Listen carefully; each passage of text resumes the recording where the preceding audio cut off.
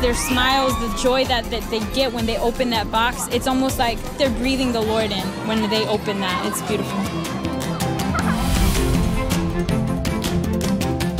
These kids, they've never had a gift like this. And when we can give a gift and do it in the name of Jesus Christ, it means everything in the world.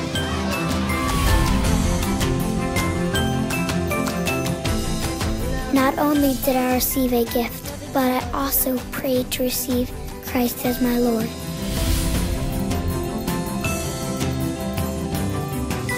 This is Christmas!